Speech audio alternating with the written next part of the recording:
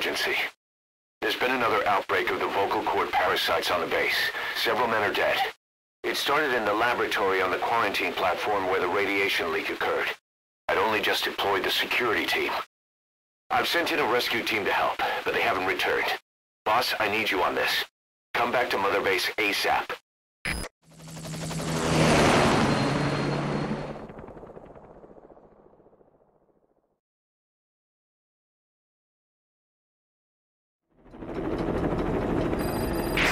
Here we go again. There's been another outbreak in the laboratory. The quarantine platform. We sent a team to investigate and recover the survivors, but they haven't returned. There's nothing on the radio either. We got a backup team ready to go. Just give the order and I'll go alone. Boss, what are you... There's no need for that. We can't afford to lose anyone else. We have no idea what's going on in Exactly. Anyone still alive's at their breaking point. Last thing we need is another unit storming in. No telling how they'd react.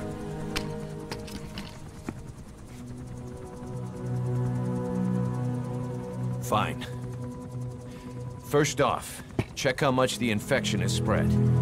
Rescue comes next, after we know the situation. When you're ready to move, just use the iDroid.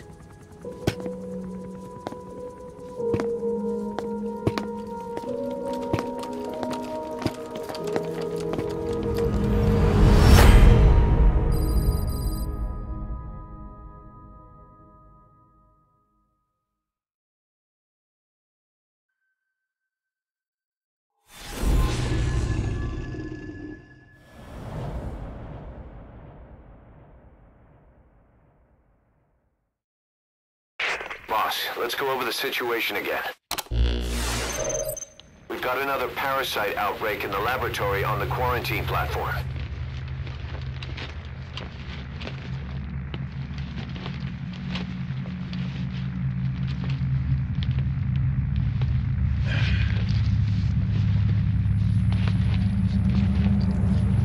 What is this?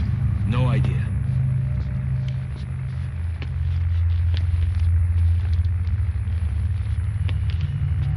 Damn it!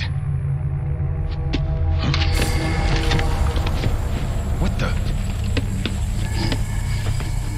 Shit!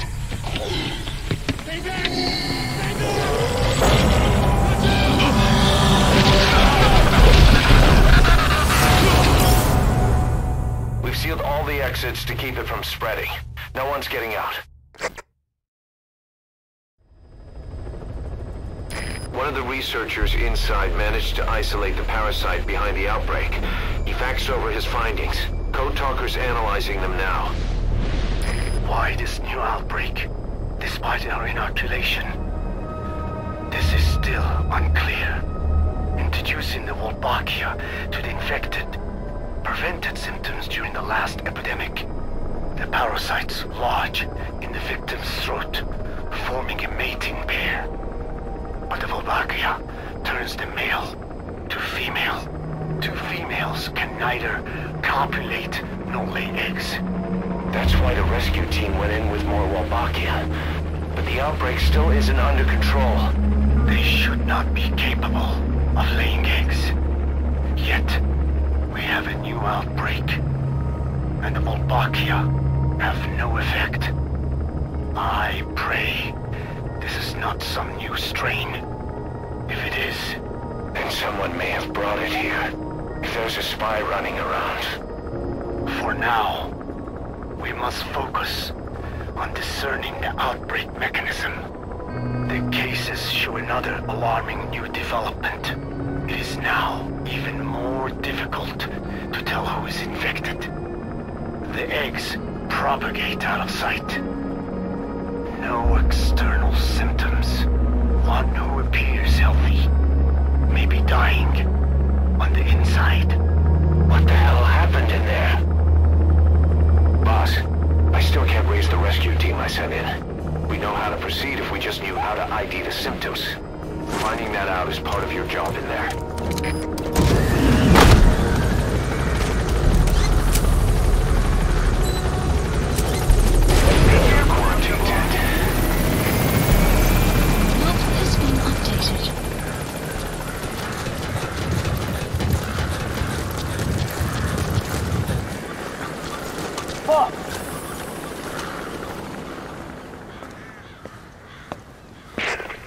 on, Snake. We've just had a transmission from inside. Here's the audio. It all makes uh, sense now. I... I win. Where's it coming from? Unknown. It cut off before we could get a fix. It all makes sense. Think he means the parasite? No way to know. But right now, that's all we've got. Hopefully he can tell us something. We'll have to close the tent behind you, boss. Don't think the infection's airborne, but...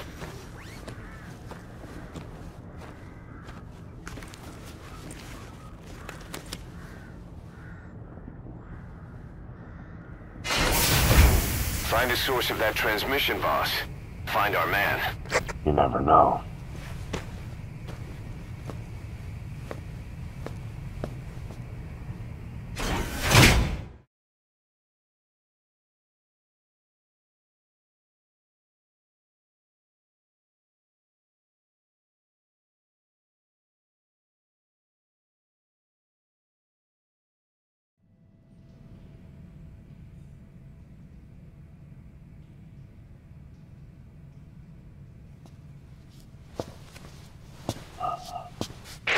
What is it?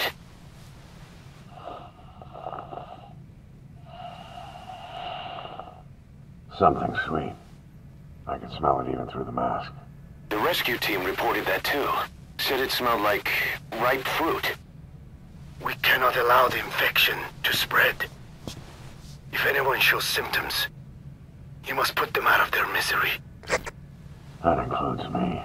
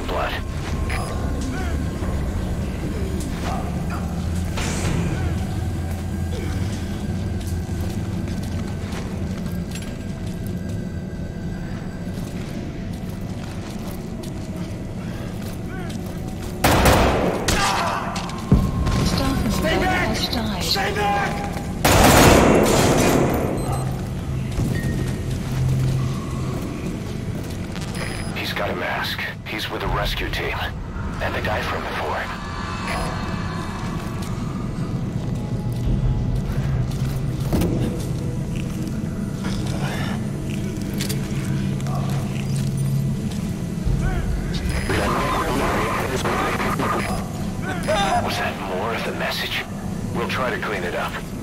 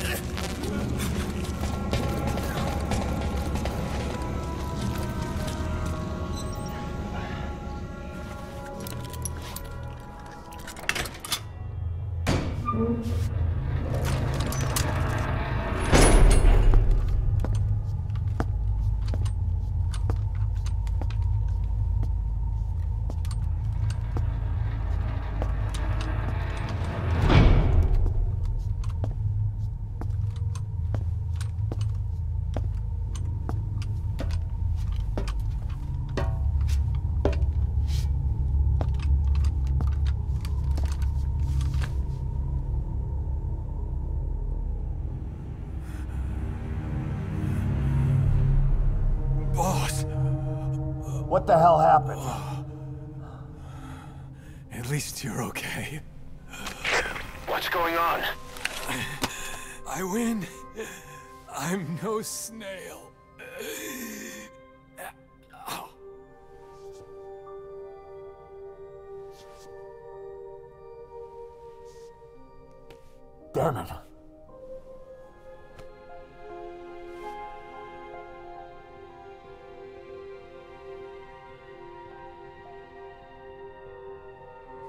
Sent the transmission. Seems like he had a way of IDing who's symptomatic.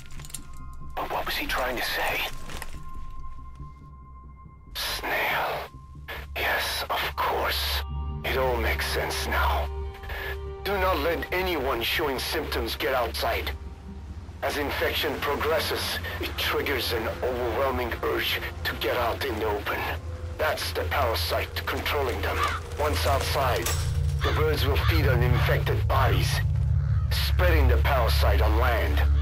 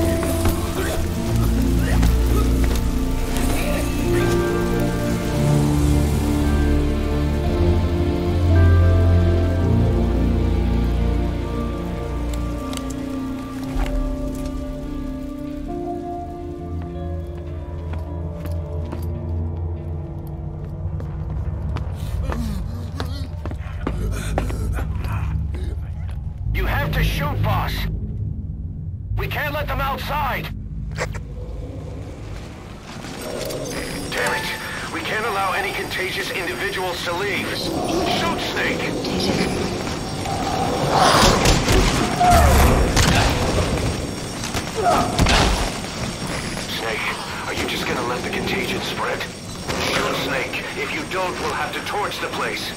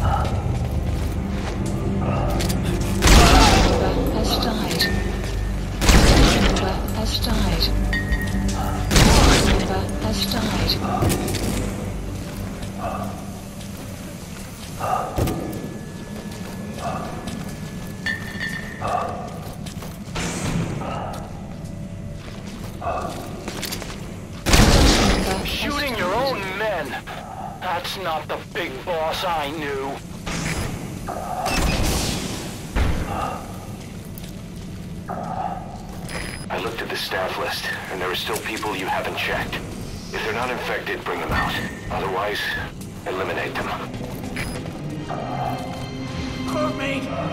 They're going outside! Mom! We're dead,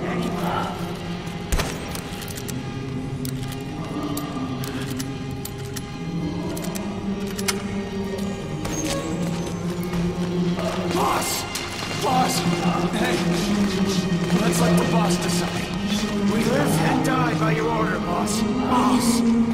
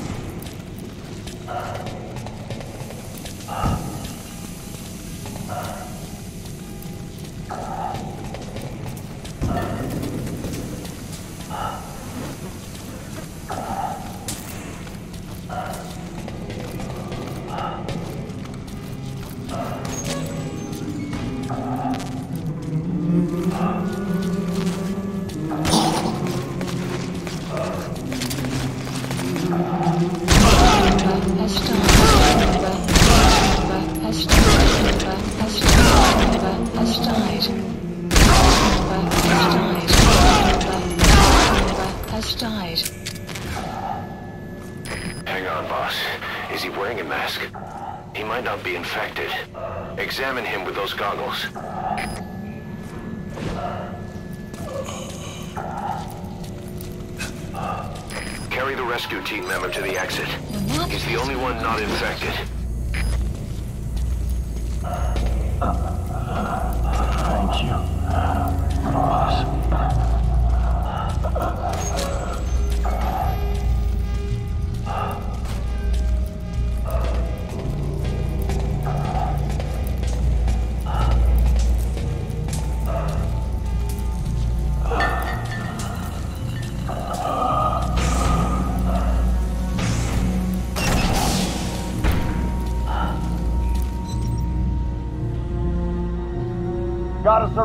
Unlock the door.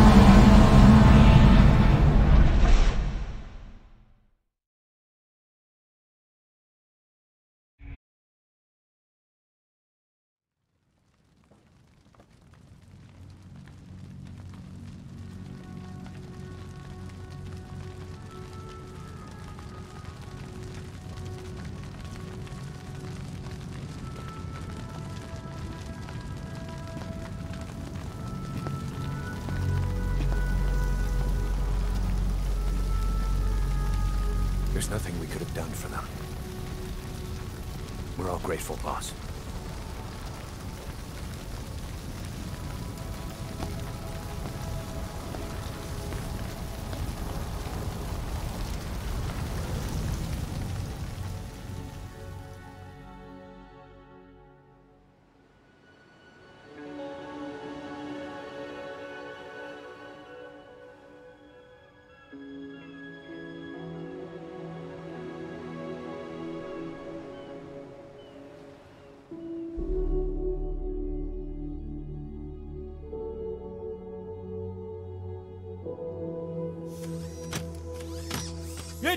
Fault! They're dead because of you! What? He's right. I killed him with my own hands. They were on your side! I'm on your side! And you turned them all to ashes!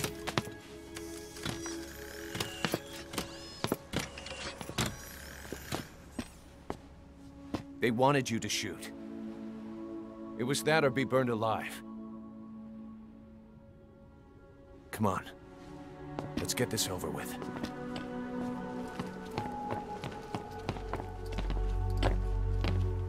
Wait.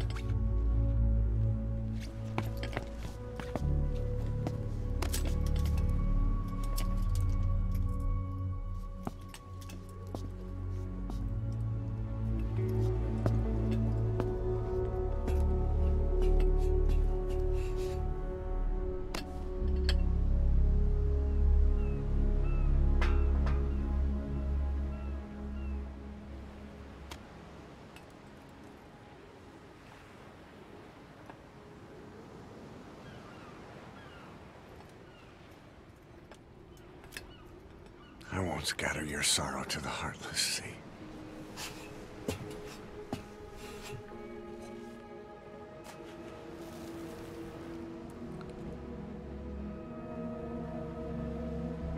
I will always be with you. Plant your roots in me.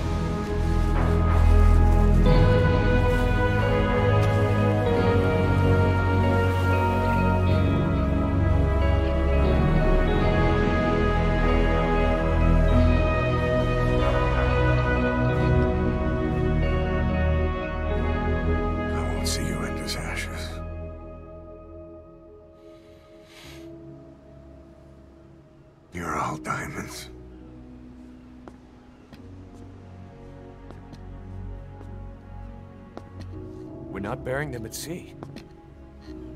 What then?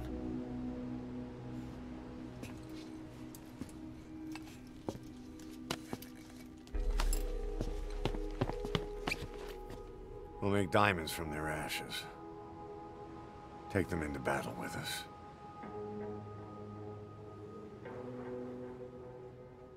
A shining light to our brothers in arms. Even in death.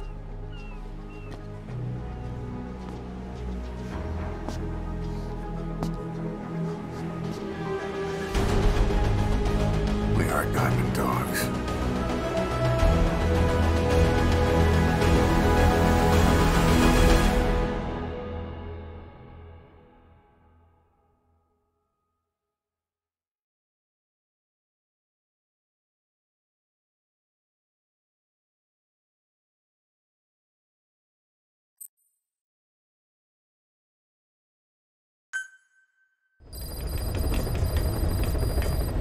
Mission Boss. list updated. I don't know how you do it.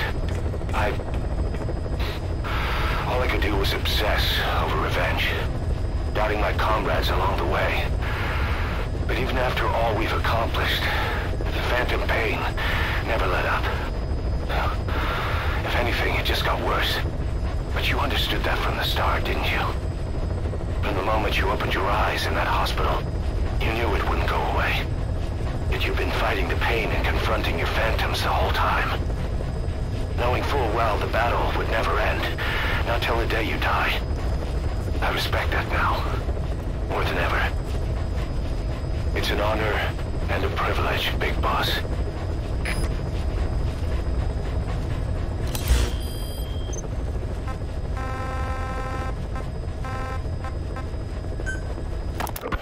Well, I have the report on the incident at the quarantine facility. Assuming the vocal cord parasite evolved, I'm sorry, underwent a mutation. The only plausible explanations are exposure to some high concentration mutagen or radiation. As you know, some of the staff at the quarantine facility were infected with the parasites.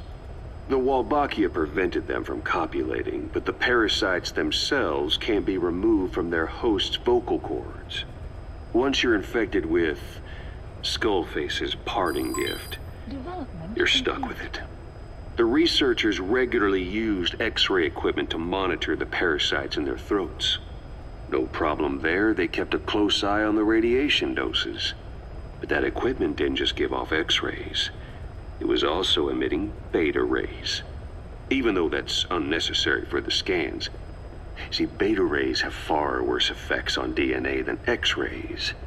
Meaning the only logical conclusion is that someone added in a beta ray emitter to trigger a mutation. Those beta rays leaked out from inside the equipment. Because the emitter was retrofitted, the shielding was inadequate. And the person who ordered and inspected the equipment was you, Doctor. That makes you the only person with the opportunity to install that emitter. So now you're saying I sabotaged medical equipment for some wild plan to make the vocal cord parasite kill everyone? Or maybe you thought it'd reveal a way to treat the parasite without using the Wolbachia. With that much to barter, I suppose some people would welcome even a pathetic cur like you. Just stop it! You'd have no shortage of buyers, but most would be happy with just the parasite. You wouldn't need to offer anything else. However, if that buyer already knew about the parasite, they'd also know that by itself, it's no longer the ultimate bargaining chip it once was. To sell to that buyer, you need to throw in a bonus. A way to one-up it. There's only one buyer who'd be after that. Emmerich, we record all communications on Mother Base. That includes radio transmissions to and from homemade devices. You've been in frequent contact with people in America. A private biotech company. A client of which is DARPA. And they are connected to Cypher. You made a deal with Cypher. You offered them a new parasite in exchange for your safety. This is the only place in the world where the vocal cord parasite still exists. And you used it as a testing ground. Tried to resurrect their bioweapon. But your plan to obtain the parasite has failed. Your bullshit ends now. And don't think you're leaving here alive.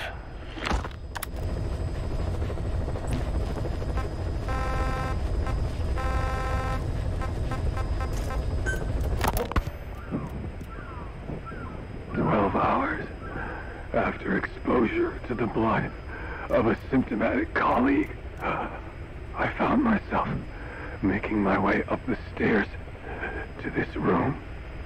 And I am not alone. Everyone who's infected, we've all come up here wanting to get outside. I know full well I mustn't leave, given the possibility I'm infected.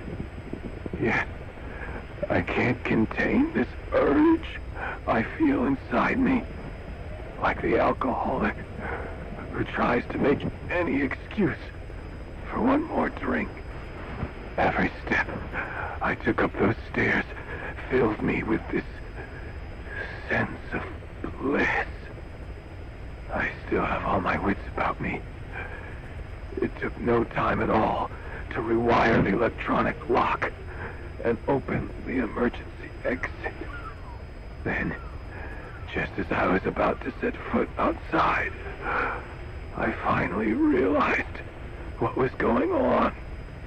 This desire for freedom is not my own, but that of the vocal cord parasites inside me. They want the ravens to feed on us, pecking us to death, attracted by these sweet secretions. They have mutated to facilitate this. The sweet smell is powerful enough to attract even a species with such a weak nose. So, before the parasites take complete control, I must. Most of the staff in here are already infected. At least, everyone I've looked at is. Infection with this parasite causes a high fever in the pharynx.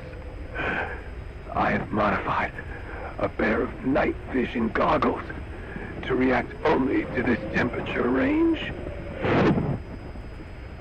With these goggles, you can identify who is infected. Other infected will, like me, feel compelled to make it outside. If the ravens get their meal, they'll head for land next. That cannot be allowed to happen.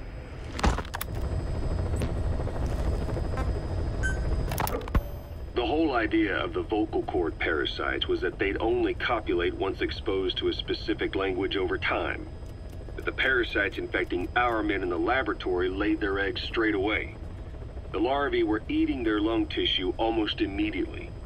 What kind of mutation was it? Those who were infected and cured still carried the vocal cord parasites in their throats.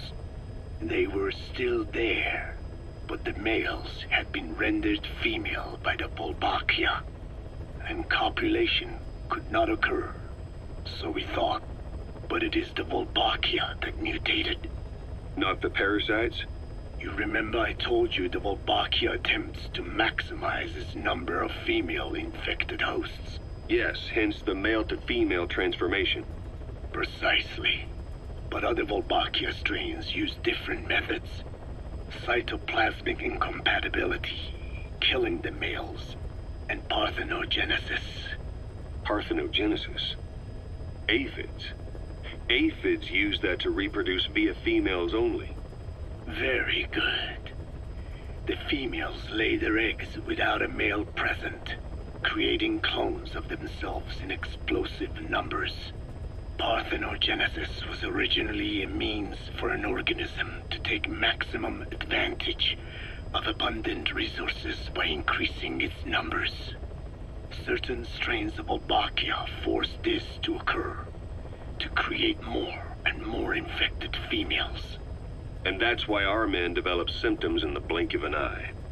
Wolbachia, causing parthenogenesis, is common in parasitic wasps.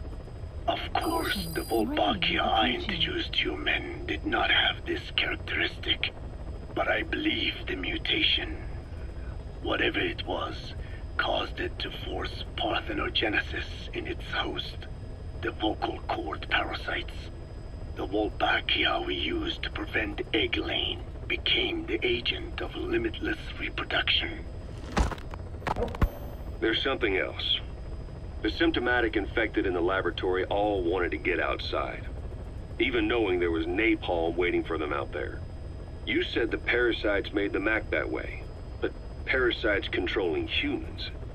Is it possible? Parasites altering the host's behavior is a common occurrence in the world of nature. Long ago, the vocal cord parasites had this ability, but even I never foresaw they might control humans. Until I heard the things your man said. You mean the researcher on the top floor? The bit about, I'm not a snail. Yes. Among parasitic worms, there is a genus called Leucochloridium that uses snails as intermediary hosts. As you know, snails prefer dark, gloomy environments. But once parasitized by Leucochloridium, they desire to be in the light. And that is not all. The parasitic worms thrust themselves into the snail's antennae, making them swell to abnormal size. The snail, meanwhile, frantically wiggles its antennae as the parasites squirm inside. The swollen, wriggling antennae soon resemble caterpillars. I don't get it. It is so they can be eaten by birds. Leucochloridium needs a bird as its definitive host. To breed, they require their snail host to be snapped up by a predator. So they make the humble snail appear to be a delicious caterpillar and lead it to somewhere in open sight. So you mean the staff trying to get outside was so the birds could pick at them. The parasites altered their mental state, making them crave higher places and to be outdoors. I can only surmise that both the Wolbachia and the parasites mutated before the ancestors of the vocal cord parasites infected humans. Their hosts were birds. What we saw in the laboratory was some throwback to that time. The parasites attempting to make birds their intermediary hosts. It sounds insane. A praying mantis that is host to a parasitic hairworm will dive into water and drown itself. Just so the hairworm can lay its eggs in water. Rats infected with Toxoplasma gondii lose their instinctive caution and run right up to cats. Just some of the many ways parasites control the host. But we're humans. Surely our minds are too complex for that. I thought just the same. Free will is what makes us human, so it never occurred to me that the parasites could be controlling the symptomatic. But the mood, the will of a person can be easily affected by the balance of their cerebral substances. Take the toxoplasma I mentioned. It does infect humans, and it is thought the infected develop a more reckless attitude. Hmm. But to think that mutations occurred in both the Wolbachia and its parasite hosts. Your observation is most apt. Both mutations occurring at once indicates the presence of a powerful mutagen. I see. Keep working on narrowing down what it was.